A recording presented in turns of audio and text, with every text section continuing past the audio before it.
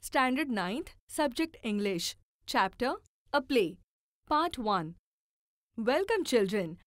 Today we are going to read Play, which is very funny. Let's start. Be alert. The king is about to arrive. Who wants to be alert? Life seems like one long sleep in this land. I am at ease all day, though I am a guard. How boring! I wonder if some interesting drama will unfold at the court today. It would enliven the atmosphere. I would be equally happy if there was none. Halt! You are a stranger. Give your identity. You are right. I am a visitor here, a disciple of the wise sage from the Gangor forest, which lies to the east of your kingdom. What brings you here? I have heard amazing stories about this kingdom of Andher Nagri and the great king Chaupat. I'm especially impressed by the fact that everything in the market is sold at the same price. No complications. You have heard right. In our land, you can buy the most rich and delectable sweets for the same price as an equal measure of vegetables. Takaser bhaji, takaser khaja. I'm quite happy about it. It makes life easy. So it should. It would be a good idea to settle in this land. But first, I would like to attend the court today and pay my respects to the mighty King Chaupat. You may stand there with those people who are in a queue. Let the court begin. The first complainant, Justice, oh most great king, I beg for justice. And what is your complaint? In this great land of Andher Nagri, my friend and I have been truly hard-working, honest thieves. All these years we have been true to our profession. And what is our reward? Last night, with great efforts, we made a hole in the wall of a merchant's house. When all his family were away, my friend peered through that the hole into the house. When suddenly the wall collapsed, and and my friend was instantly killed. I have lost my only friend and partner. Oh, king, it's the merchant's fault for living in a house with such weak walls. Fetch the merchant at once, alive for life. The merchant must be hanged.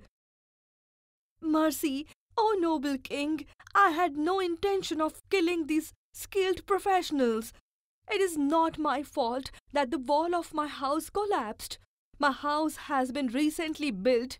It is the fault of the bricklayer, who carelessly built such a weak wall. Bring the careless bricklayer immediately. He must hang for his fault. O most kind lord and king, I beg you, don't send me to the gallows. I agree that I built the wall which collapsed and killed a man.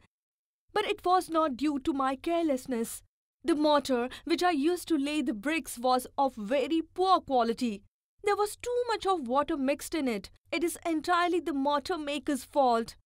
Summon the mortar maker at once. He must pay with his life for his thoughtlessness. Forgive me. O oh, merciful king, please do not hang me to death. I have a wife and two young children. Who will look after them? Your carelessness has cost a life. You must pay with your life. No, no, no, no, no. My royal lord, I am not to blame. The pot which I used to pour water into the mortar had an extraordinarily large mouth. So excess water poured down into the mortar mixture. I was helpless. It is the potter's fault for making such a useless pot. Let the potter be brought here at once. He must be executed for moulding such useless pots. Your Majesty, show mercy to this humble potter. I agree the pot I made and sold to the mortar maker was a defective one, but I am not guilty. As I was moulding that pot, I heard the sweet, delicate tinkling of anklets. It was the moneylender's daughter. She distracted me just as I was shaping the mouth and it became too wide. Bring the money lender's daughter here, this very instant. She must be sent to the gallows for disturbing this poor potter at work. Oh, just king, spare my daughter. She is my only child, and to be wedded next Monday. Oh, do not fret, father. The king will not hang me. Your most esteemed highness, I rarely step outside the threshold of my home. But as my father said, I am to be married next week and my jewelry is not ready. I had to go to the goldsmith shop to urge him to work faster and hand over my ornaments on time. The potter's shop is on the way. I could not help it. It is all the goldsmith's fault. Had he delivered my ornaments on time, I would not have been forced to go past the potter's shop. Then send for the goldsmith, and without any delay he must be hanged.